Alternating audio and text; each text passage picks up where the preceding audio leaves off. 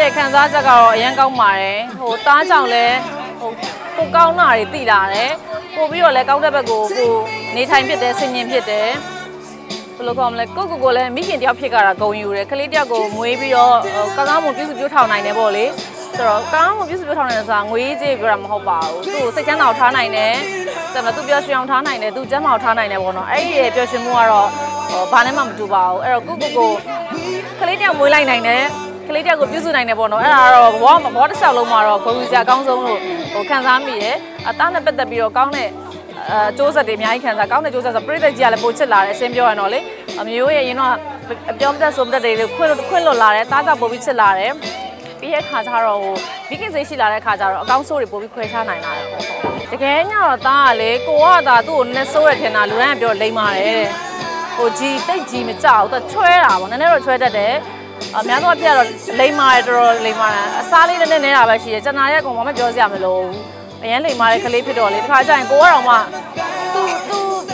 သူလုံးချင်တာကိုကလဝေးနေတာနဲသလားလောက်ထင်တယ်သူလုံးချင်တာဆိုမှသူကစာဖတ်တာရမ်းဝါသနာပါတယ်အော်ကစားတာတက်ပေါ့ဒါပေမဲ့စာဖတ်တာရမ်းဝါသနာပါ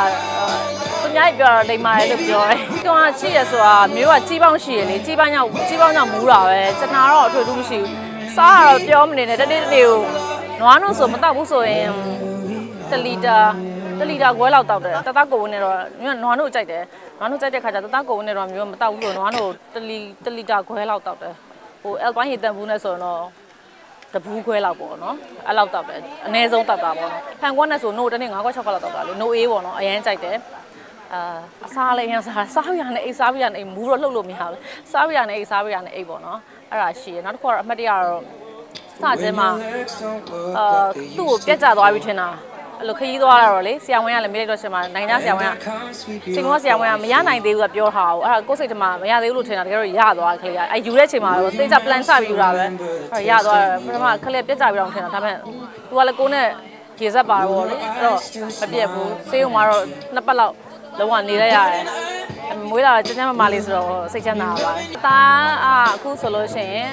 ၄နှစ်ပြည့်တော့မှာပေါ့နော်။ April ဆို၄နှစ်ပြည့်ပြီ။သူ့နာမည်တိတ်ခိစစ်ပေါ့။အာတိတ်ခိစစ်ဆိုတဲ့နာမည်ကိုပါကျုပ်ဆရာတော်ဘုရားကြီးချီးမြှင့်ပေးထားတာပါ။ပါကျုပ်ဆရာတော်ဘုရားကြီးရှောက်ပြီးတော့တသားအတွက်နာမည်ချီးမြှင့်ပေးပါချီးမြှင့်ပေးဖို့ရှောက်ထားတော့ဆရာတော်ကြီးကနေပြီးတော့တိတ်ခိစစ်ဆိုတဲ့နာမည်လေးချီးမြှင့်ပေးတာပါ။သူ့မွေးတော့မျိုးခွဲပဲမွေးတာပါ။အဲ့ကျမှမျိုးက overweight ပေါ့အရန်ဝနေတဲ့အချိန်နဲ့ ကလေးလက်ထွားမယ်ထင်ပြီးတော့ခွဲမွေးလိုက်တာတကယ်တော့ကလေးကမထွားဘူးပုံမှန်ပါပဲမွေးမွေးပြီးစင်းတော့ရုပ်ရှင်တွေရလို့လေကိုရီးယားနေတဲ့ကားတွေကလို့အာလို့ရင်းအေးဝါရပါတော့အဲ့လိုတော့မဖြစ်မိဘူးရိုးသားဆုံးဝန်ခံရတော့လေဘာဆို